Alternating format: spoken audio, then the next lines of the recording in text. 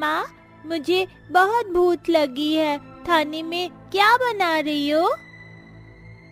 बैठ जा बिटिया मैं अभी तुझे कुछ खाने को देती हूँ। मोनी के बाद पुष्पा की बाकी की चारों बेटियाँ अनु सोनी गुड़िया कोमल प्लेट लेकर बैठकर भूख भरी आँखों से चूल्हे की ओर झांकने लगती हैं।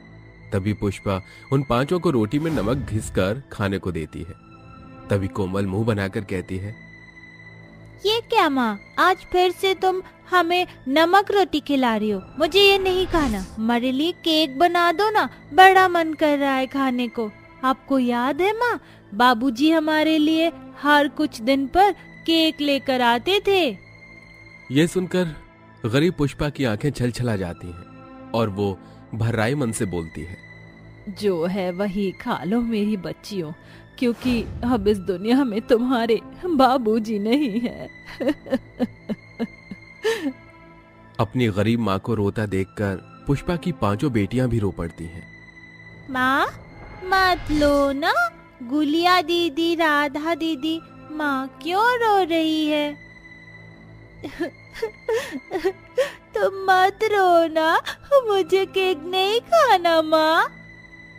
इसके बाद पुष्पा अपनी पाँचों बेटियों को नमक रोटी खिलाकर सुला देती है। पर अपनी बेटियों के सो जाने के बाद वो गरीब माँ आँखों से आँसू बहते हुए बीती ज़िंदगी को याद करने लगती है जब उसका परिवार एक खुशहाल परिवार हुआ करता था।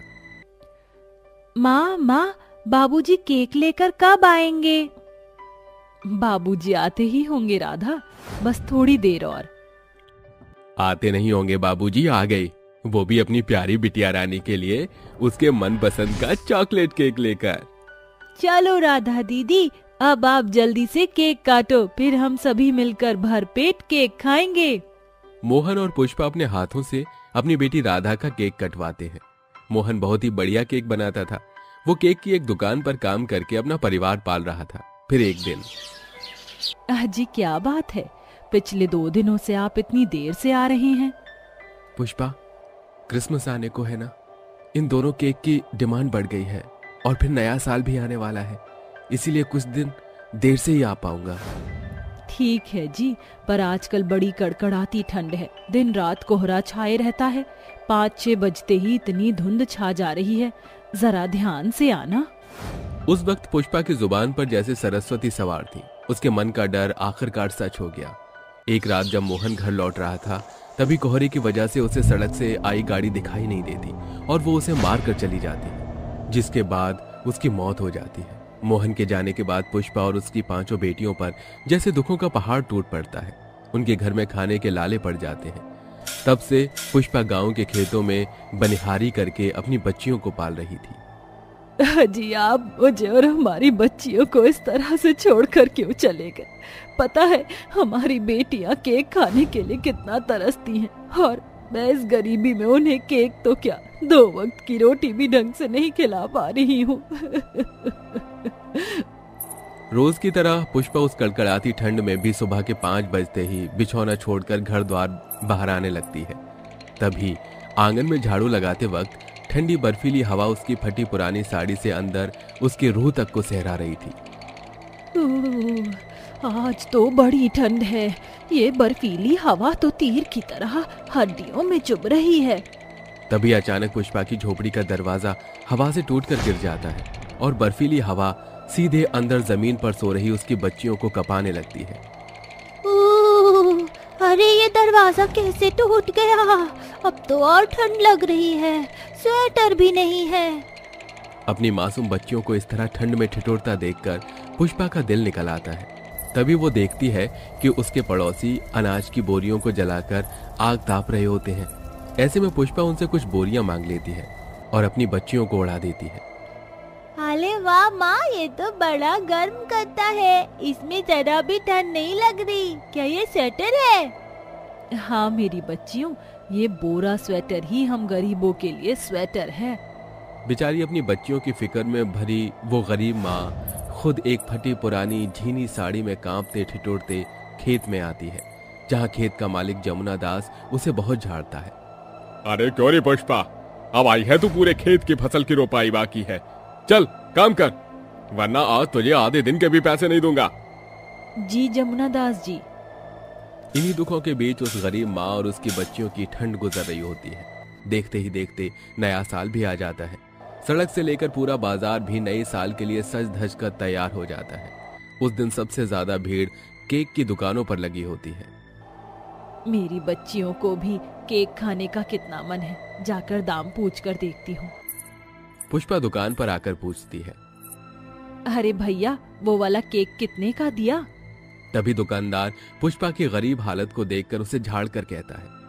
अरे ओ दो कौड़ी की भिखारिन। चल चल आगे बढ़ यहाँ तुझे कोई भीख नहीं मिलेगी यहाँ पर। भाई साहब मैं भिखारिन नहीं। पैसे हैं मेरे पास। मुझे वो वाला केक चाहिए अपनी बेटियों के लिए। पुष्पा के हाथों में पचास रुपए देखकर दुकानदार सरेआम अमीरों के बीच उसकी बड़ी बेइज्जती करता है। अरे दो कौड़ी की गरीब औकात देखी है तूने अपनी हाँ? जानती भी है ये केक कितने का है? पूरे ढाई हज़ार का है। हैं? ये केक ढाई हज़ार का है और तू पचास रुपए लेकर आई है। अरे इसमें तो मैं तुझे एक पेस्ट्री भी ना दूँ। चल भाग यहाँ से। दुकानदार पुष्पा को धक्के मारकर भगा देता है और वो घर चली आती है जहाँ उसकी पाँचों बेटियाँ आस लगाई बैठी होती हैं। माँ कल तो नया साल है। सभी के माँ बाबूजी ने उन्हें कुछ न कुछ दिलाया है। आप हमें क्या दिलाओगे? पुष्पा अपने आँसू पोछ कर बोलती है। बताओ मेरी बच्ची तुम्हें क्या चाहिए? माँ हमें बस एक स्वेटर चाहिए। इन फटे कपड़े में बहुत ठंड लगती है। हम जानते हैं। हम गरीब हो गए हैं ना? इसलिए अब हम पहले की तरह नए साल पर केक नहीं खा पाएँगे। तो आप बस हमें एक स्वेटर ही दिला दो। नए साल पर अपनी पाँचों बेटियों के मन में केक खाने की ललक देखकर पुष्पा का दिल निकल आता है। वो उन्हें गले से लगा के कहती है। नहीं मेरी बच्चियों मैं तुम्हें कल नए साल पर केक ज़रूर खिलाऊँगी। ये तुम्हारी इस गरीब माँ का वादा है। अगले दिन नया साल आ जाता है। पुष्पा ऊपर वाले से प्रार्थना करके काम पर जाती है मगर उस दिन खेत का मालिक भी नहीं आता। हे भगवान आज तो मालिक भी नहीं है।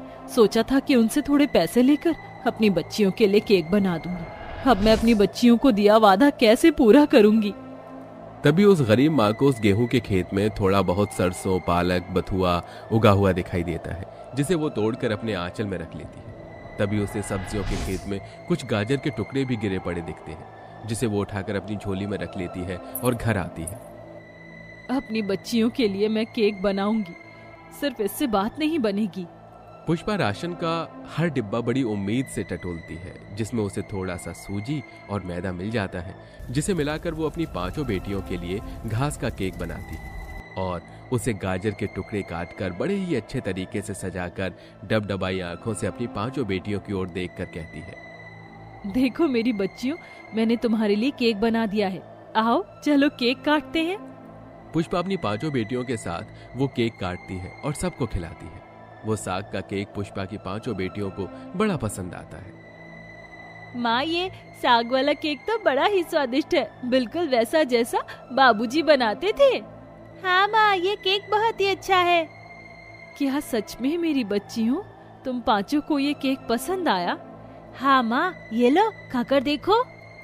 पुष्पा को भी वो केक बहुत पसंद आता है तभी राधा कहती है। माँ आपने कितना स्वादिष्ट केक बनाया है। अगर हम यही वाला केक बनाकर बेचे तो उससे हमारी खूब कमाई होगी। पुष्पा की बेटी उसको कमाई का रास्ता दिखा देती है जिसके बाद पुष्पा घास के केक के नाम से एक रेडी लगाती है। और तरह तरह का साग वाला केक बनाकर बेचने लगती है, जिससे अब धीरे धीरे उसके हालात ठीक हो जाते हैं।